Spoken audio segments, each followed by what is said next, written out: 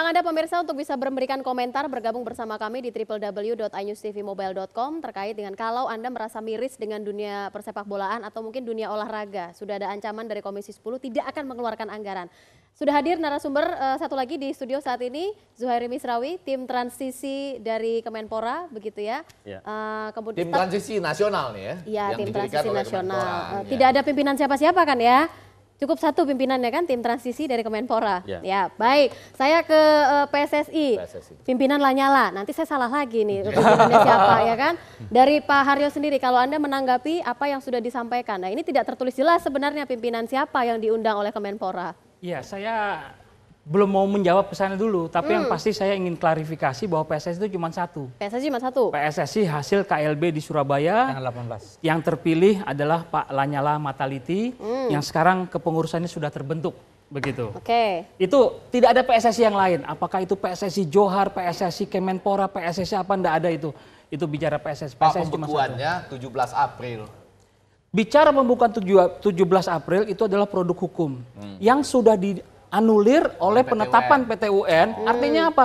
Nggak bisa lagi Kemenpora mau mau berdiri sebagai apa, mau ngaku sebagai apa, terus merasa kedudukannya lebih tinggi daripada badan peradilan. Hmm. Nggak ada cerita itu. Gus PSSI nggak ngelihat ke sana. Gus Mis posisinya juga sudah dianulir loh oleh ya, saya kira memang kita harus berbicara berdasarkan fakta. Oh. Fakta pertama bahwa PSSI yang sah secara hukum Indonesia adalah di Kementerian Hukum dan HAM adalah PSSI Johar.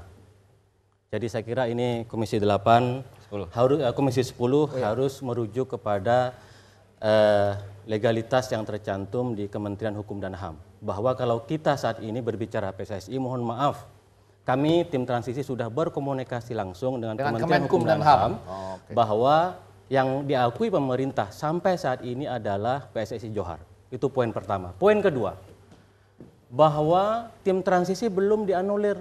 Belum. Sidangnya masih berlangsung. Hmm. Dan nanti keputusan Banding akhirnya masih berlangsung. masih berlangsung sekali. Jadi saya kira PSSI tidak uh, eh, PSSI mohon maaf ya jangan menyebarkan fitnah.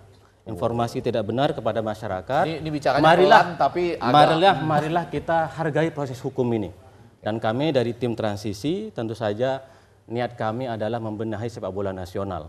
Dan sebenarnya kalau mau jujur, PSSI mestinya logowo saja, terutama Lanyala. Logowo saja berikan kepada pemerintah untuk memperbaiki sepak bola nasional karena bagaimanapun nasib sepak bola kita saat ini sangat luar biasa terpuruk. Terpuruk prestasinya, judinya, Gus, uh, pengaturan Gus, skornya ini, Gus dan lain-lain. Jadi kita teman sangat dekat. Saya kalau setiap ngundang dia saya nggak bisa membantah. Cuma tunjukkan Gus di mana di belahan dunia yang ada sepak bolanya itu diatur oleh pemerintah Gus. Enggak, ini ini kan transisi sifatnya. Oh. Transisi. Jadi mengantarkan untuk dibentuk kemudian PSSI baru yang nanti akan menata kembali sepak bola silakan, nasional. Silakan, Pak Haryo, Pak Haryo, jadi, Pak Haryo. Jadi, contoh, jadi ini ini, ini kalau contoh bentuk daripada penyesatan kepada publik. Hmm. Kenapa saya katakan penyesatan kepada publik? Bukan orang hukum bicara hukum. Sudah ada penetapan pengadilan pun dikatakan itu bukan putusan. Masih dibanding, Pak. Bukan masalah Dan dibanding, penetapannya tidak ya, dibanding. Putusan gitu loh. Ya, itu putusan selah yang sudah menyatakan selama proses peradilan masih berjalan, dan tidak SK tidak 1307 itu tidak berlaku begitu loh. Artinya apa? Itu tidak Walaupun tidak okay. meniadakan. Sebentar. Kalau ini ya. ngobrolnya dua-dua langsung gitu, kita kayak boy band gitu ya. Iya. Kita gantian. Kita gantian. Gusmis bicara, saya diam. Sekarang saya bicara dulu, kalian diam begitu. Jadi saya harus menjelaskan itu. Siap-siap. Baik, silakan. Karena argumen Pak Haryo itu patah semua tadi. Kalau jujur dengan hati nurani, ini bulan Ramadan, ini bulan Ramadan. Jadi kalau jujur Komisi 10 jadi Pak Harjo kalau dulu, saya teruskan dulu ya. ya saya kasih terusan dulu. Itu bicara masalah aturan. Ya. Lalu bicara masalah pengelolaan. Tadi seperti dikatakan oleh Bang Ege, di mana ada di dunia ini yang persepak bolaannya ditangani oleh pemerintah. Tidak ada. Hmm. Kenapa? Karena pemerintah tidak bisa berdiri sebagai federasi. Ya. Pemerintah tidak didirikan oleh akte notaris. Pemerintah juga tidak mempunyai internasional federasi. Jadi dari mana pemerintah ngaku-ngaku? Ini ya. kan pembodohan Saya publik namanya. EG. Silakan, yang silakan, silakan, silakan. Karena EG ini pura-pura tidak tahu. Iya, iya, iya. ya, ya Saya mau tutup saja Bang Ege ini. Belajar kita belajar dari kita belajar dari Australia. Oke. Ketika sepak bola Australia terpuruk, maka pemerintah turun tangan. melakukan reformasi, pembenahan dan hasilnya apa? Hmm. Australia sekarang menjadi raja sepak bola di Asia. Jadi intervensi pemerintah itu dalam konteks membenahi, mereformasi, bukan mengambil alih tugas PSSI. Kami tim transisi secepatnya akan mengadakan, mengadakan kongres luar biasa yang akan memilih pengurus baru dengan konsep baru untuk masa depan sepak bola ini, nasional. Saya, saya sedikit Pak, ini tugas saya habis itu ke Bapak ya. Oh, ya. saya yakin Gusmis ini juga cerdas tapi pura-pura tidak tahu bahwa kongres yang semacam itu harus dilakukan oleh sebuah tim entah namanya tim normalisasi yang diputuskan oleh FIFA. Ya. Sampai di situ Gus. Pak, Jadi begini, tunggu dulu kita debat lagi nih. DPR, DPR. DPR, silakan, DPR khususnya Komisi 10, hmm. apa nggak paham soal hukum yang disebutkan Bukan, oleh gini, nah, saya setuju dengan pendapat beliau pertama bahwa transisi kita ini. Bukan, saya memang juga di Komisi 10 saya katakan bahwa saya tidak bangga dengan prestasi. Oke. Okay. Prestasi yang ada sekarang betul, saya hmm. bilang nggak ada. Apa yang kita banggakan? Tapi Masyarakat soal legalitas itu PSSI nyala gimana? Betul. Kemudian kita bicara mengenai uh, memang senang atau tidak senang kita kita tidak bicara yang yang yang sudah selesai pak mungkin masalah itu kan hukum ini masih dalam proses hmm. untuk apa legalitas dan sebagainya yang kita bicara sekarang secara fakta bahwa Lanyala itu ada di situ sebagai ketua saya katakan pak, pak menteri Pak Menteri, kalau Anda nggak setuju dengan Pak Lanyala, kasih kesempatan, kasih target dulu beliau itu. Jangan baru dipilih Kongres langsung disikat habis langsung. Oh. Itu maksud saya. Jadi saya katakan saya yeah. tidak kenal Lanyala. Ah. Saya tidak bangga dengan prestasi sekarang. Yeah. Tetapi berikan kesempatan kepada mereka yang ah. sudah berproses secara demokratis supaya mereka bekerja dulu. Kalau targetnya tidak terpenuhi, oke okay, mungkin 1000% kita dukung adakan kongres luar biasa dan sebagainya dan sebagainya. Itu okay. maksud saya. Saya ke ya. Mas Yusuf dulu nih. Mas, kalau dilihat ini juga pernyataan dari uh, Gusmi sebagai dari tim transisi, sepertinya Menpora nggak akan bersedia nih bertemu dengan PSSI pimpinan Lanyala. dari Pak Lanyala. Begini, uh, kita harus kembali ke belakang, yang paling belakang lah. Sebenarnya. Jangan terlalu jauh ke belakang. ya. Karena begini, uh, kami tidak, kami sebenarnya tidak peduli siapa pun ketua umum PSSI. Andaikan PSSI tidak ada masalah, Uh, tentu saja kami negara membiarkan PSSI uh, eh, melakukan tata kelola sepak bolanya secara independen dan itu artinya yang bermasalah sebenarnya uh, kepengurusan lalu dong. Dulu kita, dulu kita kan memberikan rekomendasi, mengeluarkan rekomendasi terkait dengan penyelenggaraan liga hmm. yang kemudian tidak memperbolehkan dua klub itu. Andaikan misal, andaikan kemudian rekomendasi itu di apa? uh, dipenuhi dipenuhi hmm. oleh oleh PT Liga dan PSSI tentu saja tidak akan ada urusan setelahnya. Misal nah. kalau kalau itu terjadi ya, kalau itu terjadi, sorry bang, ya. Ada proses di mana kemudian ada Oke. ada perdebatan. Boleh ya kita di berhenti di situ supaya uh, kita jangan terlalu begini. ke belakang. Oke ini sudah ya, sudah ya. sudah sudah terjadi, ya. sudah kepalang tanggung dan saya kira uh, kita semua yang peduli terhadap sepak bola kita, yang peduli ya, uh, memang mulai harus memberikan masukan-masukan yang konstruktif. Ya. Bagaimana ya. menyelesaikan masalah Oke. ini. Jadi gini, ini yang untuk, penting untuk saya. saya setuju, saya menyambut ajakannya Rizka.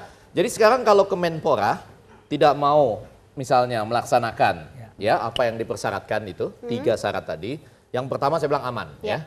Kalau mencabut sanksi FIFA susah lah. FIFA hmm. yang harus rapat di komite eksekutifnya ya. Hmm. Justru yang lebih mudah terlaksana adalah melaksanakan pertemuan dengan PSSI. Yang menurut DPR itu adalah PSSI Lanyala. Hmm. Kalau itu tidak dilakukan, DPR ke depannya mengatakan ada kemungkinan tidak akan mencairkan anggaran, gitu ya.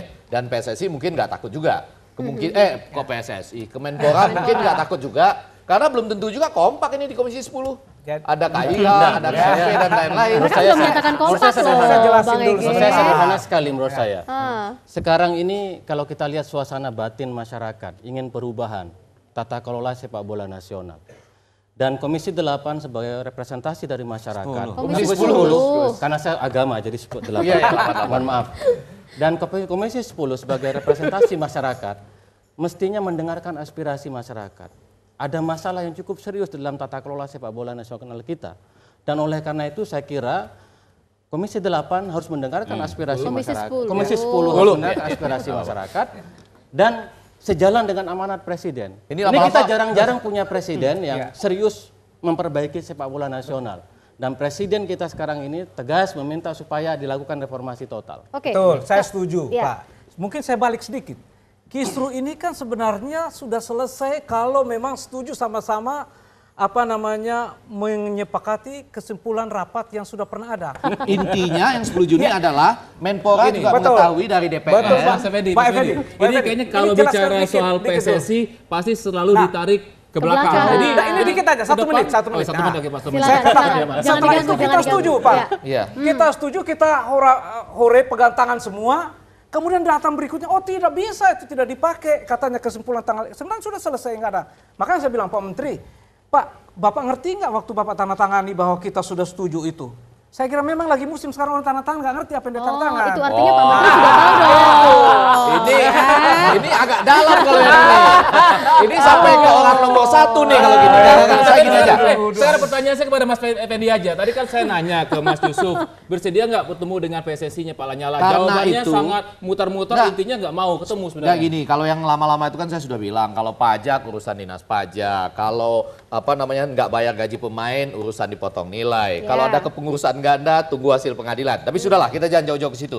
10 Juni DPR sudah ketemu dengan Kemenpora dan di situ DPR sudah mengatakan PSSI-nya adalah PSSI Lanyala. Buka. Tidak, memang kita waktu itu tidak pernah mention bahwa itu benar beliau tidak mention bahwa itu ke PSSI Lanyala. Oh, tapi, tapi asumsinya asumsi ya. selama perta, uh, yang benar hebat ini kan nggak pernah nyebut Lanyala jadi ya mereka memang. pikir hebat Kemenpora ini. Sebab kalau kalau menyebut Lanyala itu melanggar hukum. Hah? melanggar hukum karena Lanyala sampai saat ini belum disahkan oleh Kementerian Hukum dan Pak, yang ditugaskan oleh Lanyala silakan Pak.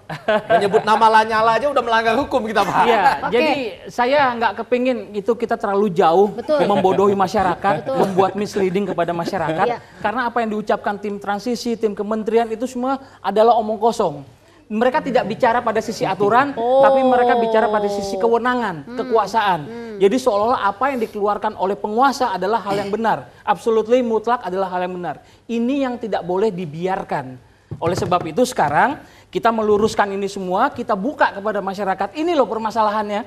Ada orang yang tidak komit, yang namanya Imam Nahrawi, jabatannya adalah Menpora, karena sudah berkali-kali membuat kesepakatan dengan DPR, berkali-kali juga menyatakan kepada publik bahwa kita terbuka untuk dialog dengan PSSI, tapi tidak pernah ada satupun langkah-langkah yang diambil. Rizka, segmen itu. ini kita tutup dengan pertanyaan aja. Takut nggak Kemenpora dengan ancaman pembekuan dari PSSI? Pembekuan anggaran? Anggaran, ya? anggaran. Oke, baik. Ya. Anda jangan ke mana-mana pemirsa, tetaplah bersama kami di News Dopol.